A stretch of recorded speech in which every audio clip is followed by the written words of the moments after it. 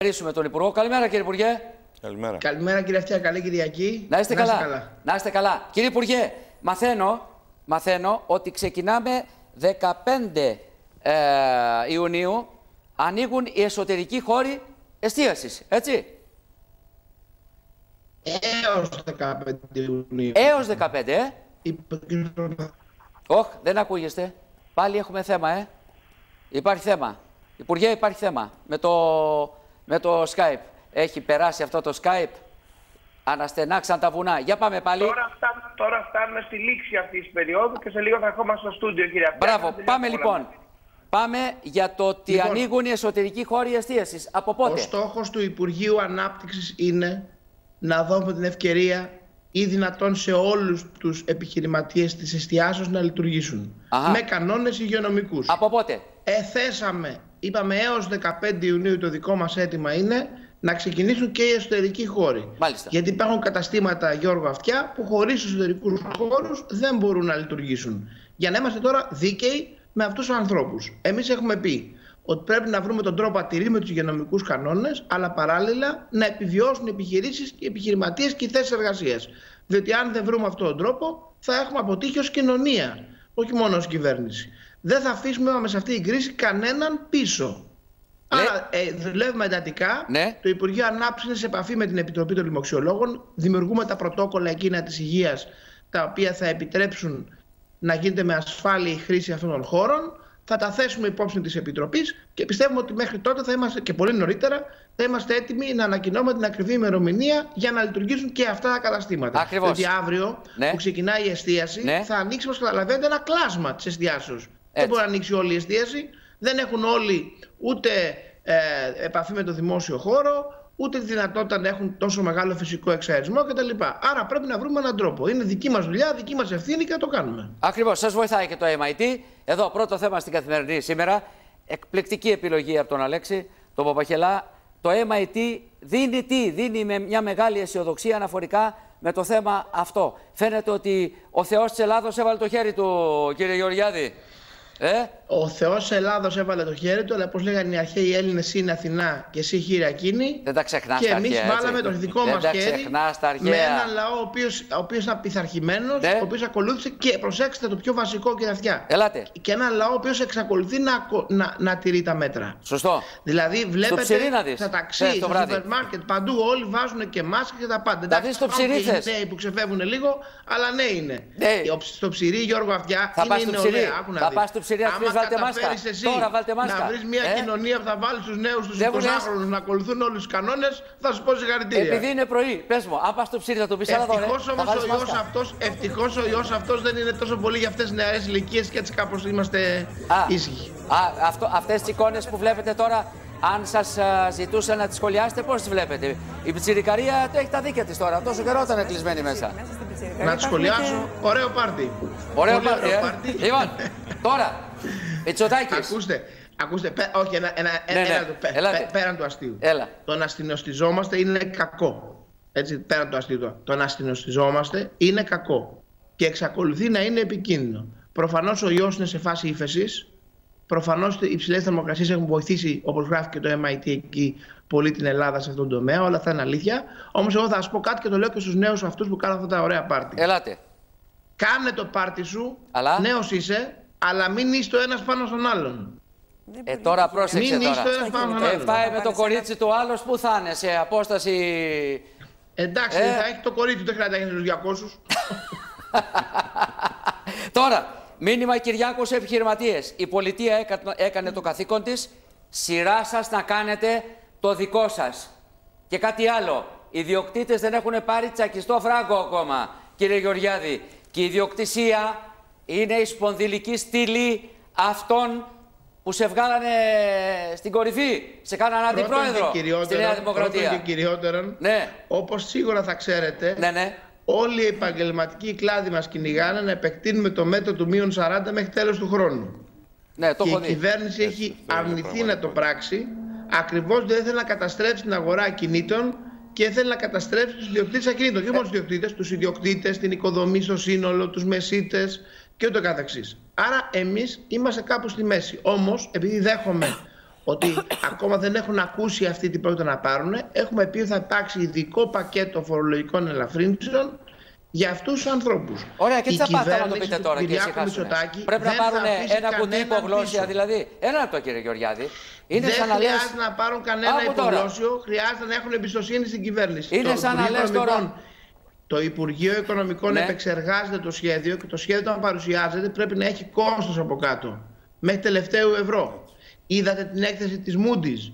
Πόσο καλά τα λέει για την Ελλάδα και την κυβέρνηση. Τι λέει η Moody's; Λέει θα είναι ύφεση μικρότερο του αναμενωμένου και θα είναι ανάκαμψη ταχύτερη του αναμενωμένου διότι η κυβέρνηση στην Ελλάδα είναι σοβαρή, κάνει μεταρρυθμίσεις, χρησιμοποιεί τα εργαλεία όπως πρέπει και δημιουργεί ησυχία στις αγορές.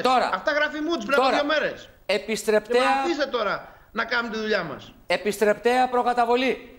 Εδώ ο κόσμος περιμένει. Περισσέψανε λεφτά έμαθα από την επιστρεπτέα. Αυτά θα πάνε στη δεύτερη δόση και πότε ξεκινάει; Σωστά. Μέχρι στιγμής έχουν πληρωθεί περίπου 51.000 επιχειρήσεις ναι. και είναι να πληρωθούν αύριο άλλες 6.500 επιχειρήσεις. Θα περισσέψουν περίπου 350 εκατομμύρια. Αυτά τα 350 εκατομμύρια θα προσθεθούν στο 1 δισεκατομμύριο του Ιουνίου, ναι. στο οποίο θα γίνει ο δεύτερος γύρος επιστευτέ προκαταβολής, όπου εκεί θα, μπουν πλέον, θα μπορούν να μπουν πολύ περισσότερες επιχειρήσεις. Για ποιο λόγο, διότι πλέον θα υπάρχει ο τζίρος του Απριλίου. Στην, στην επιστευτεία προκαταβολή του, του, του, πρώτου κύκλου, η επιχείρηση πρέπει να δηλώσει την πτώση τζίρου του Μαρτίου. Τι συνέβη όμως, κύριε Αυτιά, καλό για την οικονομία μας βέβαια, αλλά που εμπόδισε πολύ να μπουν στο μέτρο.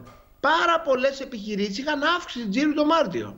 Δηλαδή πηγαίνανε πάρα πολύ καλά τα πρώτα 15 του Μαρτίου, είχαν κλείσει κάποιες δουλειές, είχαν κόψει κάποια τιμολόγια και άρα δεν φαινόταν η μείωση του τζίρου στα βιβλία τους. Έτσι λοιπόν αυτές οι επιχειρήσεις που φαινόταν με αύξηση τζίρου το Μάρτιο δεν μπορούσαν τελικά να πάρουν εμπιστευτέα προκαταβολή. Αυτές όλες οι επιχειρήσεις όμως θα έχουν αναμφίβολα μείωση τζίρου τον Απρίλιο, όπου η καραντίνα κράτησε ολόκληρο το μήνα. Άρα λοιπόν θα μπορούν να μπουν και οι επιχειρήσεις που δεν μπορούσαν να πάρουν χρήματα στον πρώτο κύκλο κατά τον μήνα Ιούνιο, στον δεύτερο γύρο θα είναι πάνω από ένα δισεκατομμύριο. Ένα δισεκατομμύριο, 350 εκατομμύρια. Πάμε τώρα γρήγορα γρήγορα. Είναι ένα θέμα στο οποίο έχει αναφερθεί επανειλημμένα και η κυρία Νικολοπούλου και οι οικονομολόγοι μας ε, εδώ. Δάνεια και επιδότηση και πρώτη κατοικία και ούτω καθεξής. Πάμε σε 9 μήνες επιδότηση τόκων εντός εισαγωγικών προστασίας με επιδότηση έως και 90% Πάμε κύριε σε μια καταρχάς πολύ μεγάλη αύξηση της περιμέτρου των προστατευομένων σε σχέση με, την, με τον νόμο Τσίπρα Φλαμπουράρη. Δηλαδή, εάν μπορούσαν να μπουν, λέγαν τότε περίπου 200.000 στην πλατφόρμα, ναι. τώρα μπαίνουν πρακτικά σχεδόν όλοι πλην των πολύ πολύ τεράστιων ε, ιδιοκτησιών. Μάλιστα. Ε, με, επίσης επεκτείνεται και χρονικά. Ενώ η πλατφόρμα μπορούσε και δεχόταν αιτήσεις δανείων κόκκινων έως 31 Δεκεμβρίου του 2018, ναι. Τώρα μπορεί να μπουν όλα τα δάνεια και τα πάσνα και τα κόκκινα μέχρι και τον COVID, μέχρι τον Μάρτιο του 19. Άρα πρακτικά όλα τα δάνεια. Τι λέει αυτό το σχέδιο, ότι όποιος είναι πληττόμενος, ναι. δηλαδή όποιος ανήκει σε ΚΑΔ που έχουν μπει σε προστασία, είναι δικαιούχος των 800 ευρώ, είναι συνδεδεμένο μέλος με κάποιον δικαιούχο των 800 ευρώ, όλοι αυτοί εφόσον έχουν στεγαστικό δάνειο θα λάβουν από το κράτος στήριξη στην πληρωμή της μηνιαίας δόσης τους μέχρι το τέλος του χρόνου έτσι ώστε το κράτος να τους δώσει την χρονική ευκαιρία να ξαναβάλουν σε τάξη τη ζωή τους και να λάβουν μετά την πληρωμή των στεγαστικών τους δανείων ε, από μόνας. Αυτό είναι ένα γιγαντιαίο μέτρο, δεν έχει γίνει ποτέ ξανά στην Ελλάδα. Είναι πολύ πέραν της προσδοκίας που και εσείς δημοσιογράφοι είχατε όταν διακόμα ρωτάγατε τι θα κάνουμε με την πρώτη κατοικία. Επιβραβεύει για πρώτη φορά και τους πράσινους δανειολήπτες, τους συνεπείς και όχι μόνο τους ασυνεπείς και διευρύνει την περίμετρο. Νομίζω μια μεγάλη επιτυχία πρωτίστως του Υπουργείου Οικονομικών, δευτερευόντως του Υπουργείου Ανάπτυξης και συνολικά της κυβερνήσεως. Λοιπόν, 7 και 22 πρώτα λεπτά. Υπάρχει κάποιο ερώτημα για τα δάνεια, κυρία Νικολοπουλού, στον Υπουργό; Εγώ θα ήθελα να κάνω μια στοχευμένη ερώτηση, κύριε Υπουργέ, επειδή μας προέκυψε με κάποιον εντολέα μου. Μεσαία επιχειρηματικότητα, ξενοδόχος από την Κρήτη, ο οποίος είχε ένα δάνειο στην πρώην ΑΤΕ. Προσπαθεί από το 18 να την κλείσει. Για κλείσε το Skype. Δεν ακούω τίποτα τώρα. Το, ούτε, ούτε, ούτε εμείς ακούμε. Γιατί Α, έχουμε πτώση. Ναι, ναι. Δεν πειράζει. Λοιπόν, άκου τώρα, ο Ερντογάν πάει φυρί-φυρί στον Εύρο. Ένα λεπτό, κύριε Γεωργιάδη. Ο Ερντογάν φυρί-φυρί. Να ξεκαθαρίσουμε ορισμένα πράγματα ο Δένδιας χθες, διακινούνται. Ο Δένδιας χθες βγήκε να, να, ε, έξω εγώ, από τα ρούχα το βγήκε στην κυριολεξία. Εγώ Γιώργο ναι. Αυτιά και ο Υπουργός Άμυνας. να υπηρετήσω τη στρατιωτική μου θητεία στον Εύρο. Ναι. και την περιοχή την ξέρω πάρα πολύ καλά. Λοιπόν, για να μην τρελαίνουμε τον κόσμο με ψεύτικες ειδήσεις και να μην πληγώνουμε την εθνική μας περηφάνεια χωρίς λόγο. Ουδέποτε πάτησαν οι Τούρκοι σε ελληνικό έδαφος. Όλο αυτό το οποίο προέκυψε είναι μία από τις γνωστές ε, φασαρίες που γίνουν στο διαδίκτυο φασαρίες τις οποίες αυτοί που τις κάνουν δεν καταλαβαίνουν τη ζημιά που προκαλούν στα εθνικά μας θέματα διότι δίνουν την ευκαιρία τώρα στην Τουρκία να προσπαθεί να ανακατέψει την τράπουλα. Λοιπόν, δεν μπήκαν οι Τούρκοι σε ελληνικό έδαφος καθόλου. Εκεί υπάρχει ένα κομμάτι του Εύρου ποταμού, Ναι. το οποίο είναι γνωστό ότι όταν το ποτάμι πλημμυρίζει μπαίνει κάτω από το, το νερό, όταν το ποτάμι πέφτει εμφανίζεται κάτω από το, ε, κάτω από το νερό, αλλά όχι πάντα ακριβώς στο ίδιο σημείο, Ναι. έχει να κάνει με το πώς το ποτάμι κατεβάζει τις φερτές ύλες. Εκεί υπάρχει λοιπόν πάντα μια χρόνια διχογνωμία που το κομμάτι μας αυτό ανήκει στην Ελλάδα. Από το Γι' αυτό 23. Δεν υπάρχει απολύτως καμία αμφιβολία. Από το 23. Βεβαίως. Δεν υπάρχει καμία αμφιβολία. Τώρα, πήρανε μία φράση σε μία συνέντευξη του κυρίου Δένδια η οποία απομονώθηκε και διαστρεβλώθηκε, το τονίζω, απομονώθηκε και διαστρεβλώθηκε. Εγώ κάθισα και άκουσα όλη τη συνέντευξη για να δω κι εγώ τι ακριβώς συνέβη; Ωραία, και λέει ο συνειδητοποίησα ΣΥΡΙΖΑ- ότι εκεί υπήρξε Γιατί έγινε το κοντορατική. διάβημα τότε. Το διάβημα γιατί έγινε αφού Το δεν έγινε. διάβημα Λέει ο δεν ΣΥΡΙΖΑ. έγινε για, για εισβολή στην Ελλάδα. Αλλά- Το διάβημα έγινε για τις δηλώσεις της Τουρκίας ως προς την κατασκευή του φράχτη. Μάλιστα. Έγινε για άλλο λόγο το διάβημα. Θα έχουμε Άρα, πίεση λοιπόν, εδώ. Εκεί πήρανε, πήρανε, πήρανε ένα διάβημα που γινόταν για το φράχτη που φτιάχνουμε για να μην μπαίνουν από τον Εύρο που θαυμάζαμε όλοι πόσο καλά τα πήγαμε. Που Ναι. καλώ είναι το διάβημα. Ναι, ναι. Το μπερδέψανε με το κομμάτι αυτό του εδάφους του Εύρου για να πούνε δεν είναι καλά ότι η κυβέρνηση του Τάκης δεν προασπίζεται το πάτριον έδαφος. Εμείς δεν ήμασταν που είχαμε κλείσει τα σύνορα και Γιώργο αυτιά πριν από δύο μήνες. Εμείς δεν δίναμε τη μάχη στα σύνορα. Τώρα ξαφνικά αλλάξαμε άποψη. Και- και Μα δεν πήγε- τρέπονται. και πήγε περίφημα δηλαδή, και για να έφαγε για τα κάνουν μούτρα του αντιπολίτευση Ερντογάν. στο Μητσοτάκη, με συγχωρείτε, για να κάνουν την πολίτευση στο Μητσοτάκη είναι έτοιμοι να, να υιοθετήσουν κάθε προπαγάνδα του διαδικτύου των χειρότερων κύκλων ας πούμε, των εθνικιστικών, ακόμα και στο ΣΥΡΙΖΑ και δεν τρέπονται. Έγινε ο Καρανίκας υπερπατριώτης ξαφνικά. θητεία μου στον Εύρο. Ο Καρανίκας που την υπηρέτησε, που μας κάνουν και μαθήματα πατριωτισμού. Λοιπόν, σε παρακαλώ πάρα πολύ. Λοιπόν, αυτή είναι η απάντηση Άδωνη Γεωργιάδη. Α, ο Πρωθυπουργός καλεί τους επιχειρηματίες. Ε, η πολιτεία έκανε το καθήκον της, σειρά σας να κάνετε το δικό σας. Λέει στη Real σήμερα η δήλωση του Πρωθυπουργού και είναι ένα θέμα το οποίο θα δούμε και με τον κυβερνητικό εκπρόσωπο. Έφτιαξε το Skype. Έφτιαξε. Ο ΣΥΡΙΖΑ γιατί το κάνει αυτό στον Εύρο, ναι. κύριε Γεωργιάδη; Λοιπόν, Γιατί το κάνει αυτό; δύο Γνωσμένο να κάνουν αντιπολίτευση στο Μητσοτάκι, δεν έχουν που να πιαστούν και κάνουν συνέχεια αυτά τα πράγματα. Αλλά εδώ είναι ντροπή γιατί την εξωτερική πολιτική δεν πρέπει να τη βάζεις μέσα σε αυτή την κονίδα της αντιπολίτευσης. Γιατί μπορεί να κάνεις ξαφνικά τεράστια ζημιά χωρίς λόγο. Λοιπόν, η κυβέρνηση υπερασπίζεται κάθε σπιθαμή της Ελλάδος, κάθε σπιθαμή του πατρίου εδάφους. Αυτό είμαστε ορκισμένοι να κάνουμε και αυτό κάνουμε. Και δεν χρειαζόμαστε υποδείξεις από κανένα καρανίκα. Λοιπόν, Τώρα, δεν θέλω να πω περισσότερα. Γι' αυτό θα... Λέει ο Πρωθυπουργός, έκανα το καθήκον μου, κάντε το καθήκον σας, στηρίξτε το χώρο της εργασίας και ούτω καθεξής. Εδώ τώρα, τούτο το πράγμα ε, ε, ε, φτάνει για να τραβήξουμε μπρος, κύριε Γεωργιάδη. Ο κύριος Πρωθυπουργός είπε κάτι που είναι πάρα πολύ σωστό. Είπε ότι εμείς ως κυβέρνηση, ως κράτος έχουμε ανοίξει τα πουγκιά, έχουμε δώσει εγγυημένα δάνεια, έχουμε δώσει επιστρεπτέα προκαταβολή, έχουμε αναλάβει εν μέρει το κόστος των εργαζομένων, πάμε να μειώσουμε την προκαταβολή του φόρου, μειώνουμε το ΦΠΑ, Ε, τώρα έχει έρθει η ώρα και ο κάθε επιχειρηματίας να βάλει το χέρι στην τσέπη. Διότι επαναλαμβάνω σε αυτή τη χρονιά τη δύσκολη, αυτή τη χρονιά που θα είναι ανήφορος, πρέπει να περάσουμε απέναντι όλοι μαζί. Το κράτος έκανε το δικό του μερίδιο που του αναλογούσε, τώρα πρέπει να κάνει και ο επιχειρηματικός κόσμο το δικό του μερίδιο. Μάλιστα. Για να μην μείνει πίσω το ένας εργαζόμενος. Εγώ θέλω να καλέσω όλους τους επιχειρηματίες, ακόμα και αν είναι λίγο στριμωγμένοι, να μην απολύσουν κόσμο. Διότι η οικονομία θα γυρίσει. Αλλά θα γυρίσει ευκολότερα και γρηγορότερα αν η ανεργία συγκρατηθεί.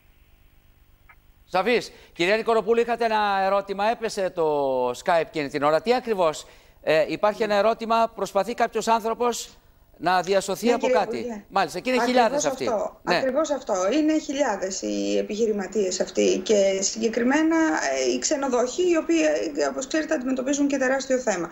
Λοιπόν, ο άνθρωπος αυτός από το 18 έχει εξοφλήσει ένα δάνειο στην πρώην ΑΤΕ, εν πάση περιπτώσει έχει αναλάβει ο εκαθαριστής, δεν μπορεί να εξοφλήσει αυτή τη στιγμή γιατί πότε ο φάκελος βρίσκεται εδώ, πότε βρίσκεται εκεί, πότε ο εκαθαριστής δεν είναι έτοιμος Και; κλπ. Με αποτέλεσμα αυτή τη στιγμή να μην έχει ε, λάβει μέρος σε κανένα εργαλείο χρηματοδότησης, διότι το δάνειο αυτό φαίνεται ανοιχτό, φαίνεται κόκκινο, ενώ ο ίδιος έχει την πρόθεση να το εξοφλήσει.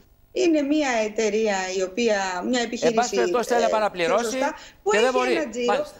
Ακριβώς. Και, η και θα εικόνα έχει του μπει στην και τράπεζα κυρία- δεν είναι κυρία- αντίστοιχη. και θα έχει μπει και στον να Τηρεσία. δώσει Θα έχει το μπει και εργαλείο στον Τηρεσία χρηματοδότησης. αυτός. Ναι, αλλά από το 18 είναι αυτό όμως, έτσι δεν είναι Κοιτάξτε, τωρινό. Κυρία Πάμε. Νικολοπούλου, ε, εδώ λέτε για μια ειδική περίπτωση μια Όχι, είναι επιχειρήσεως. πολλές, ε, κύριε Υπουργέ. Αν το Είναι- καταλαβαίνω είναι πολλές, καλά, κύριε που, Υπουργέ. από, που από αυλεψία ή από καθυστέρηση γραφειοκρατική της τράπεζας, συγκεκριμένα της Έτσι. Bank Bank της αγροτικής, αν Έτσι καταλαβαίνω είναι. καλά, δεν Έτσι μπόρεσε είναι. να ρυθμίσει, ενώ ο ίδιος είχε αυτή την πρόθεση. Αυτό μου λέτε. Τι κάνουμε εδώ, τι- Έτσι είναι. Ε, μπορούμε Γιατί σας το μπορούμε λέω να αυτό, παρέμβουμε, αν υπάρχουν τέτοιες επιχειρήσεις που μας ακούνε τώρα, Ναι, Παρακαλώ πολύ να επικοινωνήσουμε το γραφείο μου στο Υπουργείο Ανάπτυξης, να παρέμβω εγώ Βοηθήστε γραφειοκρατικά να ολοκληρωθεί η διαδικασία. Να τους βοηθήσετε, γιατί βέβαια. δεν μπορείς να Αυτό. μπεις στο εργαλείο αν δεν έχεις ρυθμίσει. Έτσι, Αλλά αν βοηθήστε έχει τους. πράγματι την πρόθεση να Ακριβώς. ρυθμίσεις και θες να πληρώσεις, προτίθεμαι και προσωπικά να ασχοληθώ για να λυθεί το ζήτημα. μάλιστα. Θα πάτε εκκλησία Υπουργέ. Γι' σήμερα. αυτό σας το Θα λέω, πάει- επειδή χρειάζεται μια επίβλεψη Μάλιστα. σε Λοιπόν, κάποιες πάνω σε αυτό εξειδικευμένες μια- τέτοιες περιπτώσεις. Θα το λύσει, είπε.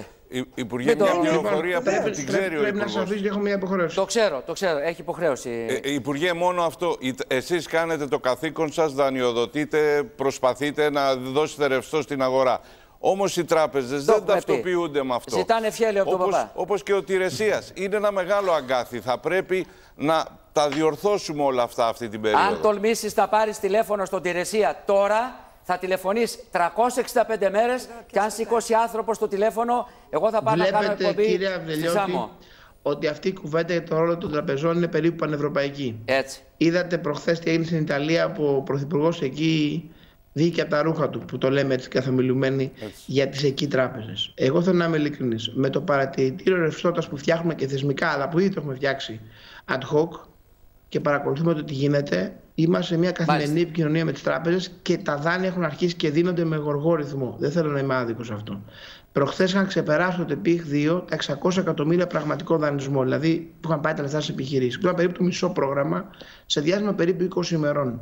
Που δεν είναι μικρός ρυθμός για το ελληνικό τραπεζικό σύστημα. Είναι πολύ καλό. Λοιπόν, αυτό. αυτά- το, το ΤΕΠΙΧ 2 είναι, Πάμε είναι σιγά πολύ σιγά. καλό. Πάμε σιγά σιγά. Θα ανάψει Λοιπόν, κανένα ευχαριστώ κεράκι- πάρα πολύ κύριε Αυτιά. Να είστε καλά. θα Καλημέρα. ανάψει κανένα κεράκι σήμερα στην Παναγία να πάει δεν καλά η λέτε ποτέ οικονομία δημόσια, ή πηγαίνουμε μόνο. στην εκκλησία. Η εκκλησία είναι προσωπικό ζήτημα, δεν είναι για διαφήμιση. Ναι. Ε, καλά, δεν